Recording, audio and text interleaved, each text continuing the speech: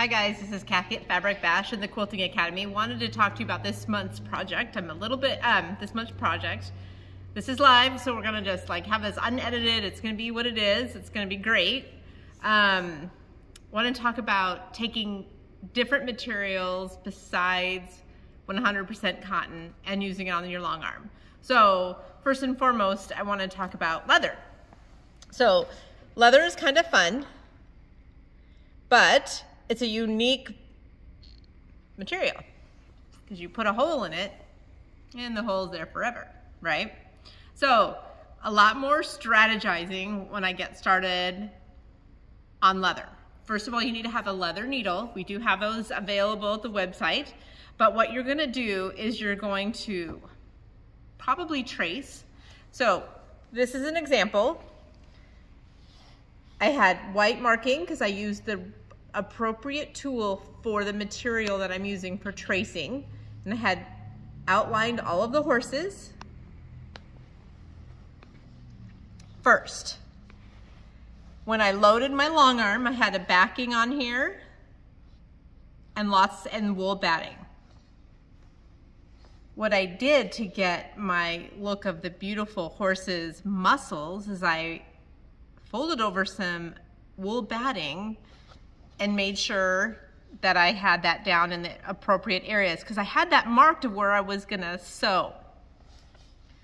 So I went ahead and I just sewed everything first of the horses. Then I went back in and did my lines.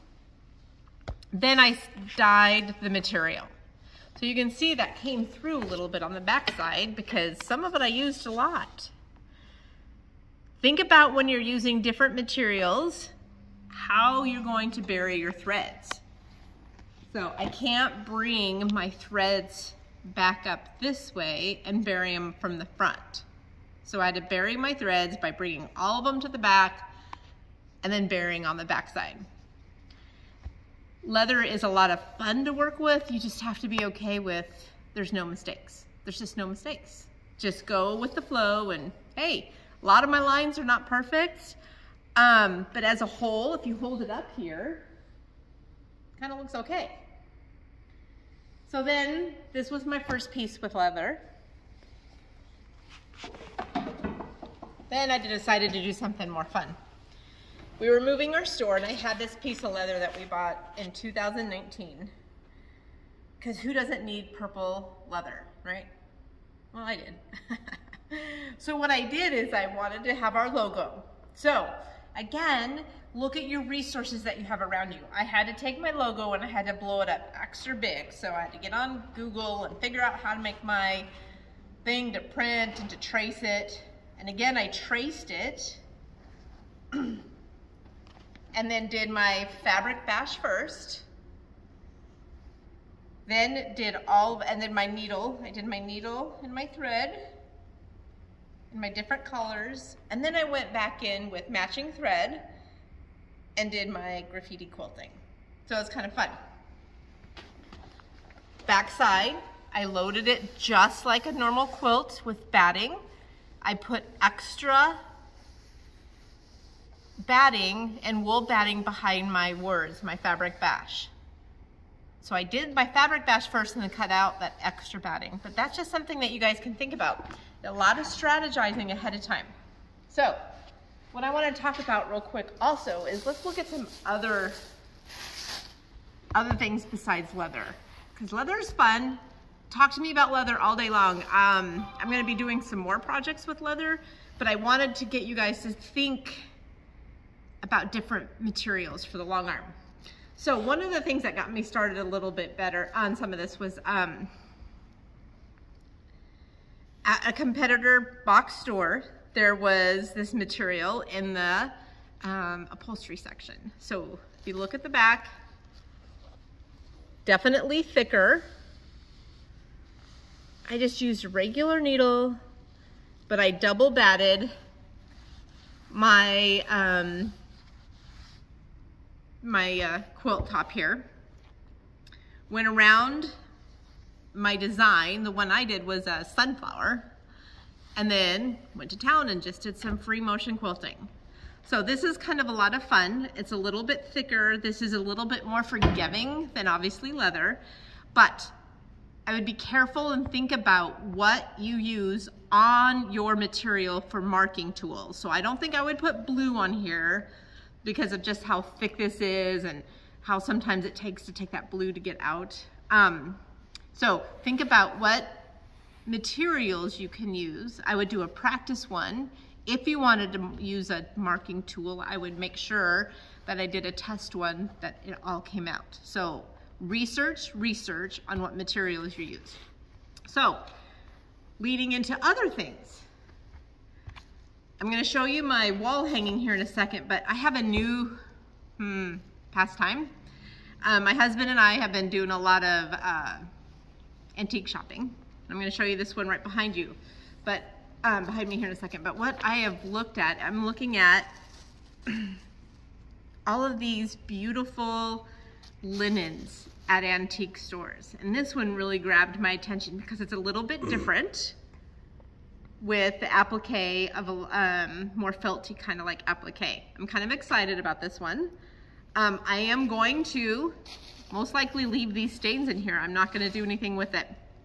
But I will probably double bat it, take some of the motifs on the outside, put them on the inside. Maybe I'll make another clock. I'll show you my clock here in a second. But here's another um, linen I would love to share with you.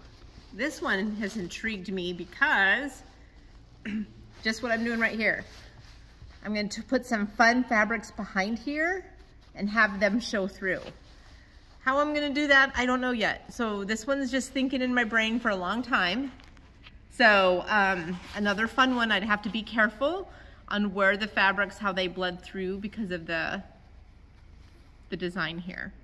But, you know, maybe I'll, hmm, I don't know, maybe it'll be kind of fun. Maybe I'll put some more white fabric and tag it behind. Who knows? It's gonna be a lot of fun. But look at this, wouldn't this be fun? I think this one has lots of um, lots of opportunities. So that's the front, and I was showing you the back. This is the front. So the one thing that really um, got me with one of my linens is I made a clock. So I'm gonna have Jake walk over here. I'm gonna talk about my clock here. I'm gonna switch places here.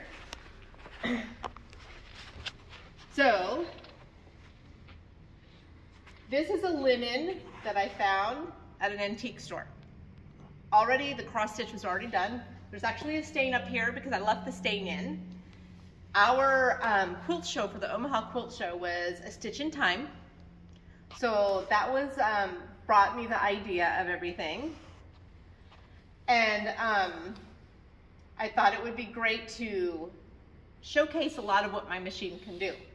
So I cut out with our laser cutter all of these beautiful gears and I raw edged applique them on the quilt. But before I did that, let me back up.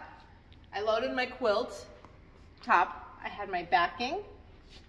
I had 80-20 and then I put my Tim Holtz fabric on top. Then I put another layer of 80-20. Now at this point my staff was like, what are you talking about? So then I put another layer of batting on. Then I laid this beautiful thing on top of that and we started, um, I had all of the gears already fused down. So when I started quilting, I did my computer work in here. I did my um, custom quilting here, and then I used my channel locks here. So, go to antique stores. I want you to find some fun projects. Other people are doing some great things with um, linens that they find at antique stores as well. But we made a clock, and it's actually a working clock. And yes, it's actually 8.30 because we haven't changed the time yet. Um, but it's a lot of fun. I challenge you to try some different materials. Research your materials first. Research what tools like needles, um, marking tools that you can use on those materials and then just have a lot of fun. If you want to talk about leather, give me a call. I love it. Comment down below and I will watch the comments. Follow us on uh, YouTube and this will be in the Quilting Academy. There's going to be a link down in the bottom if you want some more information about the Quilting Academy. We have a, a group that is off of Facebook that we have this on. So enjoy guys. Any questions? Follow up with me. I'll keep, I love talking all this great fun stuff. Thank you.